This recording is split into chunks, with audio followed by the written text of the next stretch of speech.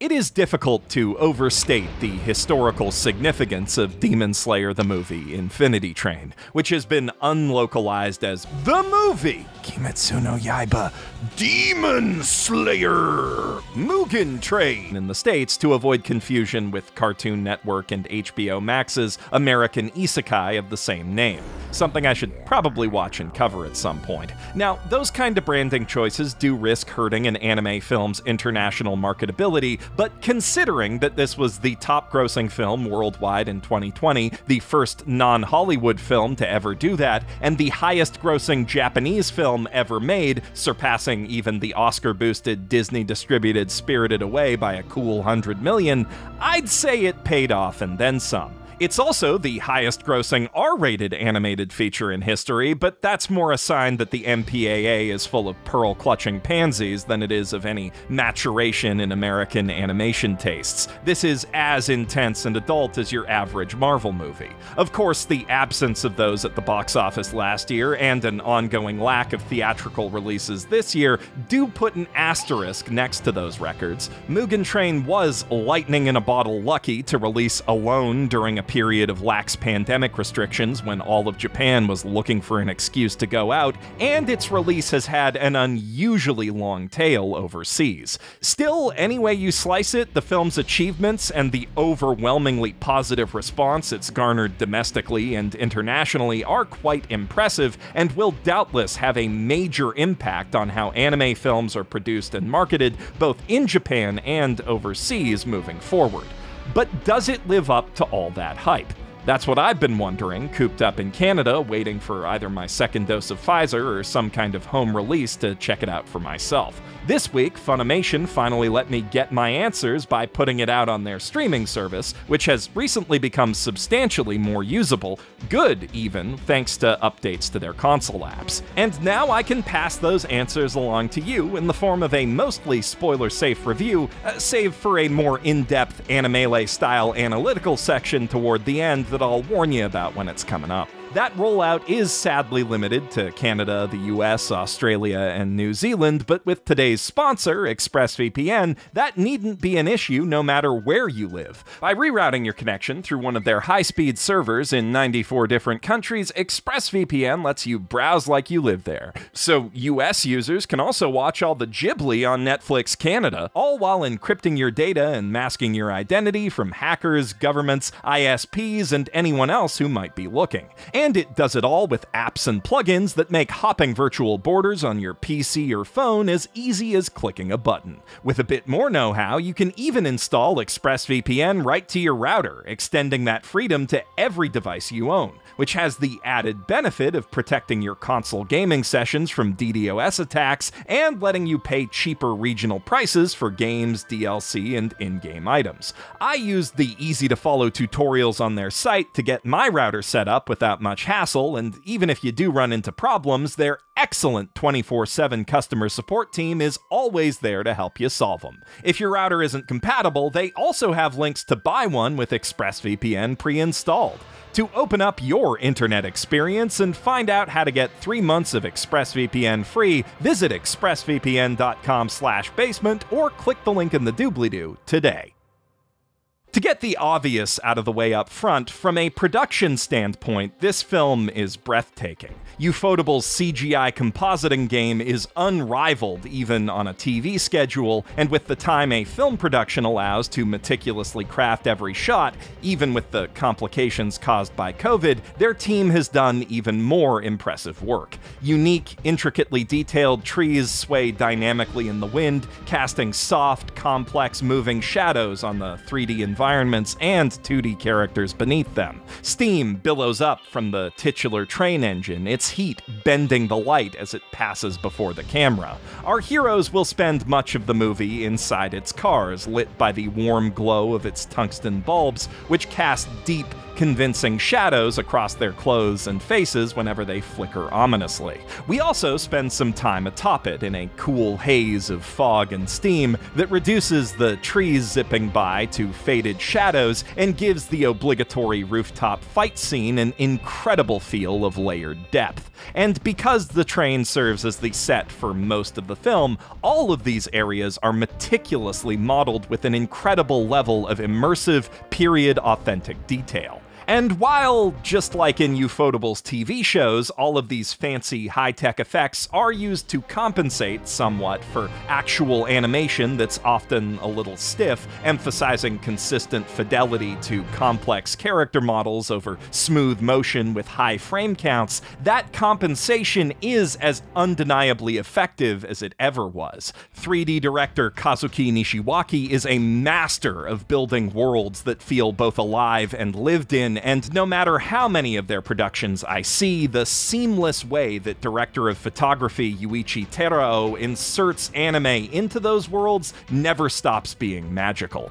In its lighting, framing, use of color, and especially the copious 3D camera movement that plays into its action scenes, Mugen Train feels intensely cinematic, and that feeling is only bolstered by soaring orchestral music and bassy, punchy sound design that made me very happy to own a home theater system. Suffice it to say, if the aesthetic experience of anime is something you care about at all, you are gonna have a blast with this one. I had such a good time that if I can get my second jab while it's still in theaters, I'm gonna watch it again just to see how it looks on the big screen. But of course, that still leaves the question what about the story that's being told with all this impressive imagery? Well, as is the case with most shonen anime movies, it's basically more of the TV show, only bigger and better, so if you like that, you'll like this. And unlike the filler spin off movies that most shonen franchises get, Mugen Train is actually a direct, plot essential continuation of the anime, adapting events from the manga that take place mere days after it ended. So you'll get to see the characters actually grow and change in significant, lasting ways over the course of this movie, and if you're planning to keep watching the TV show, it's kind of essential viewing. On the other hand, if you haven't seen the anime yet and you're wondering if this makes for an accessible jumping on point, the short answer is no. The longer answer is no, comma, but it does establish the core concepts of the series and the personalities of its central cast effectively enough that newcomers won't feel totally lost. You can tell exactly what kind of guys Sentaro, Zenitsu, and their gracious, talented, handsome boss Inosuke are just from how they behave while boarding the train, and Nezuko's appeal is immediately self-explanatory the second she appears. The movie's themes and plot are also neatly self contained, making it a solid sampler of basically everything the broader series has to offer in terms of action and emotional content. It's not the strongest example of either, but it is a well balanced blend of all the Demon Slayer vibes. Those vibes being broody, moody nighttime fights, existential angst, pity slash empathy, laser light show wrestling hype, therapy, heartwarming family bonding, and Inosuke. So, if you're looking to find out in the shortest amount of time possible if the rest of the anime's your thing, and being a bit confused won't get in the way of that, or more likely for viewers of this channel, you're wondering if it's a good way for you and your less anime obsessed friends to enjoy a long awaited post vaccine night out, or in, I'd say go for it. Just make sure you book some time off for an at home marathon session not long after, because if the fact that the original manga nabbed 24 of the top 30 slots on 2020's Oricon sales charts is any indication, this movie's a hell of a compelling sales pitch. Like most Demon Slayer stories, the setup for this one is pretty straightforward. Tanjiro has questions about the Hinokami Kagura breathing technique that he awakened to in his fight with Rui, and the Flame Hashira, Kyojuro Rengoku, seems like the most likely man to have answers. Thus, our four heroes board a midnight train looking for him, only to discover that he's there on a mission to investigate the mysterious disappearances of several passengers, including some lower ranked demon demon slayers. The train does, of course, turn out to have a demon problem, otherwise, they would have named the movie something different. And as is so often the case in this series' fast paced, densely packed arcs, our heroes barely have time to say hi and get their tickets punched before they come under attack. Though with the elite sword skills of a Hashira at their disposal, it doesn't take long to finish it. Or so it seems. Prepare to get mind freaked if you've never seen a single other movie before, because that too easy fight was actually a dream. The ticket punch was the real attack, and the moment the lights flickered, our heroes were dropped into a dream world where all of their dearest desires are made manifest, which in both Zenitsu and Inosuke's cases involves hanging out with Nezuko, and really, who can blame them? The heroes are tempted to linger forever in pleasant dreams bit isn't exactly novel, even for shonen anime, but it's still an effective and efficient way of establishing more of Kyojuro's character before the fighting breaks out, and it does allow the film to dig deeper into Tanjiro's trauma over the demon attack that killed his family. Dredging up and weaponizing those feelings also makes the central villain immediately and immensely hateable, though that's not exactly new to these sorts of of stories either. The dream world does get more interesting and informative when we break away from the obvious desires highlighted in these fantasies and start exploring each hero's subconscious. Inner Zenitsu, presumably the part of him that's so good with a sword, is just incredibly fun for the brief bit of time he's on screen, as is Inosuke's inner beast. Tanjiro's warm, empathetic inner world is predictably beautiful, and while the Flame Hashira's subconscious is exactly what you'd expect, the way his inner fire manifests IRL is very fun. Though obviously the real fun only gets started after they break out of the dream and start fighting in earnest, which is, let's be honest, 90% of what anyone goes to any shonen movie to see.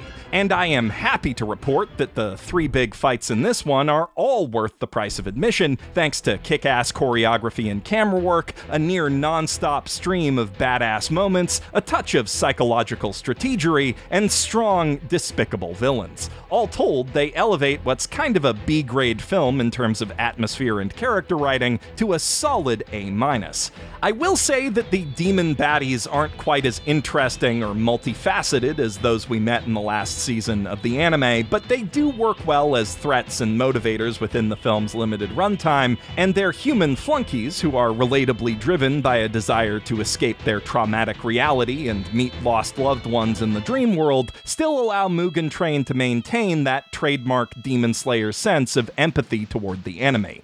Now, that is about all I can say without delving into spoilers, so let me sum up my final thoughts on the film for anyone still on the fence about seeing it before I move on to light fight analysis for the folks who already have.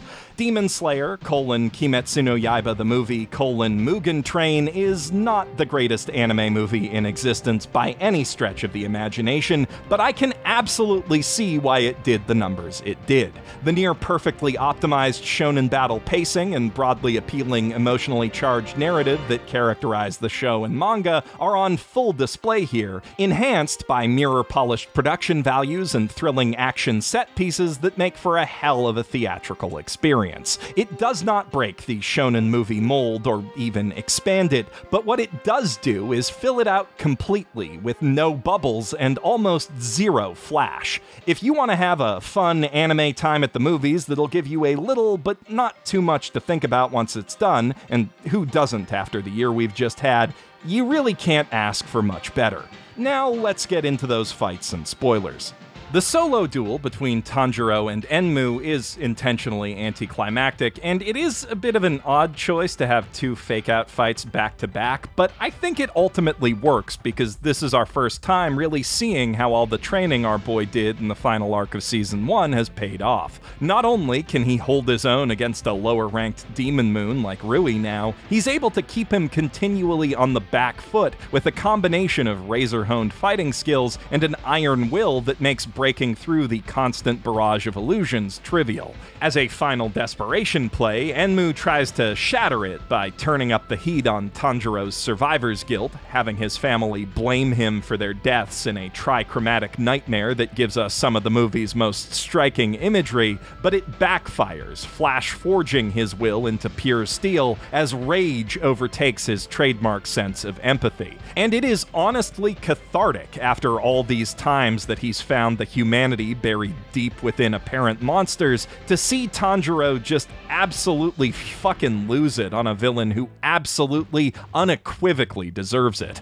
Of course, that's just the beginning of the real fight, but had Enmu not fused his being with the train itself, just as Inosuke predicted, Tanjiro would have taken him down single handed. He's truly come a long way. Still, even with all that skill, there's only so much he can do on his own to protect the train's passengers, so it's finally time for the rest of our heroes to wake up, or in Zenitsu's case, sleepwalk like a badass and join the fight. The effects work throughout this whole section is stunning, and the sheer scale of the battle feels like something out of a co op Shadow of the Colossus. Everyone gets their own moment to shine and save lives, and it all builds up to a thrilling two on one encounter between Inosuke, Tanjiro, and the demon's head, which has consumed the entire train engine. The demon's hypnotic eyes keep sending them to sleep, complicating their approach on its weak point, and it uses its knowledge of how Tanjiro escaped those dreams the first time to very nearly trick him into killing himself. But Inosuke's sharp instincts cut through the deception as surely as his serrated blades rend the demon's flesh. And together, breathing and moving in perfect sync through a twisting mass of tendrils and evil eyes, the pair lines up a devastating combo attack, which, as connoisseurs of Chrono Trigger can tell you, is the best kind of attack, to strip away all of Enmu's defenses and sever his oversized spine in one clean Hinokami Kagura strike. That does send the train careening off the tracks, which could be very bad, but thankfully, Kyojuro's raw strength allows him to save every single passenger from certain death in the wreckage. It's a triumphant moment for all involved, but tragically, the film's not quite over yet. While Tanjiro's busy giving his all just to keep his blood in his body, the upper third rank Demon Moon appears out of the blue to attack, and it's down to the Flame Hashira to defend against him. As villains go, Akaza isn't the most nuanced or interesting. He's your standard strength obsessed shonen baddie who's given up his humanity in pursuit of immortal power and tries to tempt Kyojuro into doing the same, only to be flatly refused because it's as weak a sales pitch as it is a motivation. However, once their fight pops off and keeps popping off for a solid 20 minutes, you do start to see where he's coming from. Like, yeah, if these two did the whole Vegeta Goku rivalry thing, just two demons beating the ever loving shit out of each other every day forever, I'd watch the ever loving shit out of that. Neither of their powers is particularly complex, it's just flame slices versus shockwave punches, but they come out in such a rapid, mesmerizing flurry, and the big blows they land have such an intense impact that it's impossible to look away. This is anime action at its hypest. Two warriors at the top of their game, pushing their bodies to and past their absolute limits. And even when the difference in those limits catches up to us and leads to an inevitably tragic conclusion, Kyojuro's badassery remains unshaken. Only true anime fighting legends like Mumen Rider have ever done something as hard as trapping a guy who's punched through their stomach with sheer abdominal force so that they can cut his goddamn head off with what's left of their strength. Ultimately, the demon does break out of it, lizard style, by detaching both his arms and scuttling off into the shadows before the sun or other demon slayers can get him, but Tanjiro is right. Dead or alive, Kyojuro Rengoku won that fight, not just by saving the passengers, but by protecting four brave and talented young slayers whom the laws of shonen escalation ensure will grow to surpass him one day and take down all those Demon Moon bastards in the end.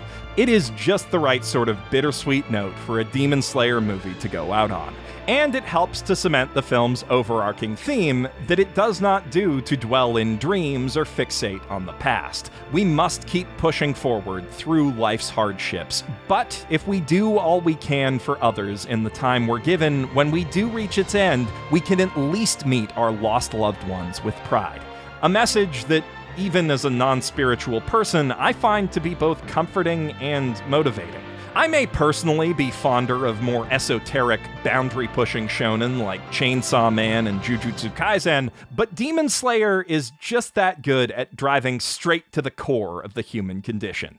Let me know in the comments below what you thought of the movie and of this review, and if you're looking for more timeless, battle oriented anime entertainment, check out my recommendation video on Medabots, which is basically what Pokemon would have been if Gainax made it. Or if you want to see some anime films that really earn their R ratings, my recent celebration of the joys of cartoon violence has a few good suggestions. I'm Geoff Thew, professional shitbag, signing out from my mother's basement.